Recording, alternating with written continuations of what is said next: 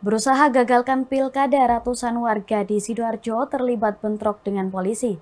Berkat kesigapan petugas, masa akhirnya bisa dipukul mundur dan situasi bisa dikendalikan. Dikendalikan dengan mendorong petugas melempar batu dan kayu. Petugas berlindung di bawah tameng Dalmas. Oleh Komandan Kombi Dalmas lanjut. Namun tidak diindahkan oleh masa pengunjuk rasa. Untuk itu, langsung dari Komandan Kompi Dalmas lanjut untuk memukul mundur masa menjauh dari gedung KPU Sidoarjo. Ini adalah wujud eskalasi yang semakin meningkat dari kuning menjadi merah. Masuk-masuk terima posko.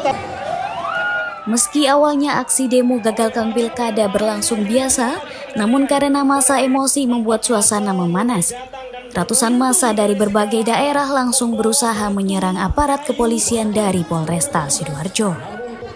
Tidak hanya menghalangi polisi, masa juga terlibat aksi lempar ke arah petugas yang sedang melakukan pengamanan pilkada. Karena suasana tak terkendali, ratusan petugas dari Brimopolda Jatim didatangkan langsung untuk memukul mundur dan membubarkan aksi massa yang memanas. Dengan sigap, petugas gabungan dari Brimopolda Jatim dan Polresta Sidoarjo akhirnya berhasil membubarkan massa. Kondisi itu merupakan simulasi sistem pengamanan kota di Sidoarjo yang sengaja digelar jelang pelaksanaan Pilkada serentak November 2024 mendatang. Melalui simulasi Sispam kota ini, bisa diketahui bagaimana persiapan dan kesiapan anggota Polri dalam mengamankan pelaksanaan Pilkada serentak 2024 yang akan berlangsung beberapa bulan ke depan. Jadi ini adalah pelaksanaan simulasi Sispam Kota yang dilaksanakan oleh Polresta Sidoarjo tentunya dalam rangka kita menghadapi pilkada eh, yang akan nanti kita laksanakan pada bulan November baik itu pemilihan bupati maupun pemilihan gubernur. Eh, ini kita laksanakan eh, tentunya eh, Sispam Kota ini juga melibatkan eh, unsur-unsur dari uh, instansi uh, gabungan ya, dari uh, eh, TNI, kemudian juga dari Satpol PP ya, dan dari dinas-dinas lainnya. Ya.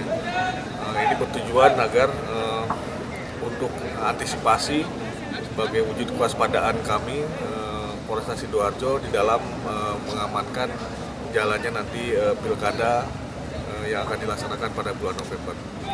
Dan ini simulasi Sispam Kota ini juga kita laksanakan uh, dengan tentunya melibatkan hampir uh, 1.100 uh, personil ya. itu terdiri dari gabungan yang tadi saya sebutkan.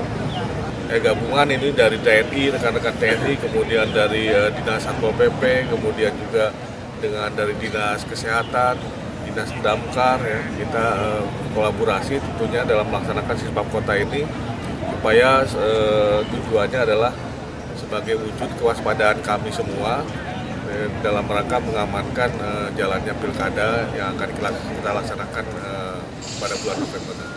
Melalui simulasi Sispam kota ini, petugas gabungan Polresta Sidoarjo dan Brimo Polda Jatim dipastikan bisa mengamankan pilkada serentak 2024 dan mengatasi segala bentuk potensi kericuhan dalam proses pilkada. Kalau personil AWC untuk melakukan pemadaman jiwa raga mereka demi kemanusiaan. Dari Sidoarjo, Muhammad Ibra, Arek TV melaporkan. Dilakukan